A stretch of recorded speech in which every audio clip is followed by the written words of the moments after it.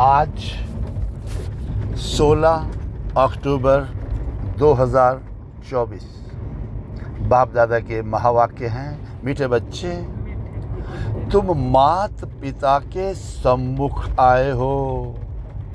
अपार सुख पाने तो बाप तुम्हें घनेरे दुखों से निकाल घनेरे सुखों में ले जाते। कितने लकी बच्चे हैं हम। बाबा में अनलिमिटेड जो दुख में बैठे थे, उससे अनलिमिटेड सुखों में ले जा रहे हैं, क्योंकि हम माता पिता के सम्मुख आए हैं। जा रहे ना बाबा से मिलने के लिए। जो बाबा से मिलने जाएगा, उनको अपार सुख मिलने ही मिलने पहला प्रश्न है, एक बाप ही रिज़र्व में रहते, पुनर्जन्म नहीं लेते हैं। क्यों?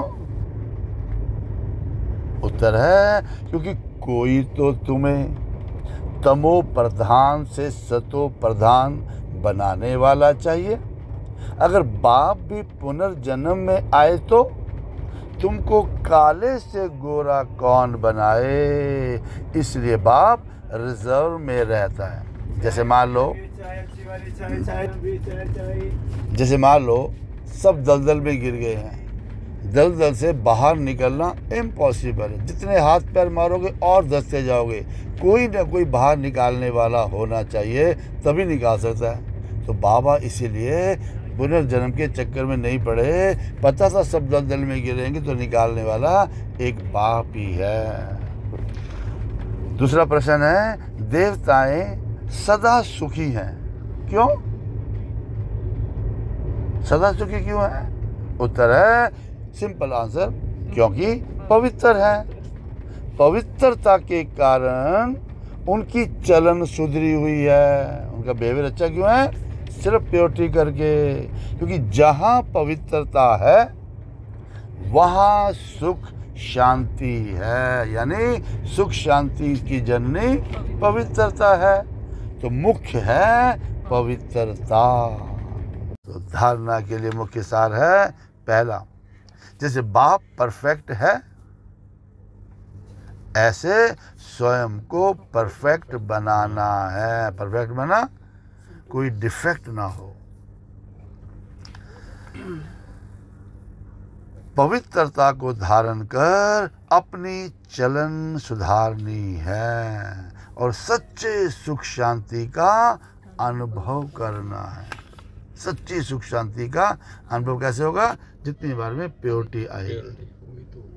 दूसरा सृष्टि के आदि मध्य अंत का ज्ञान बुद्धि में रख ब्राह्मण सो देवता बनाने की सेवा करनी है।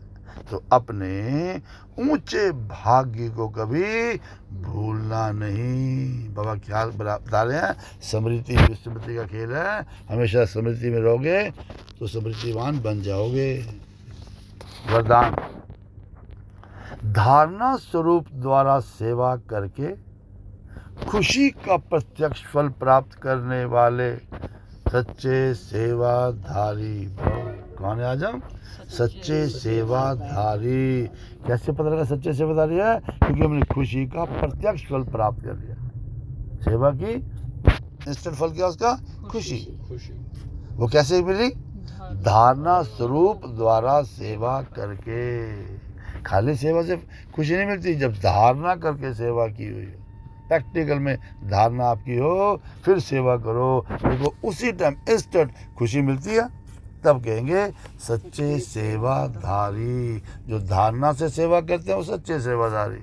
बाकी सिंपल सेवाधारी। तो हमने सच्चे सेवाधारी बनना आज। नशे में रहना हम सच्चे सेवाधारी हैं। क्या करना है? दोबारा बोलता हूँ।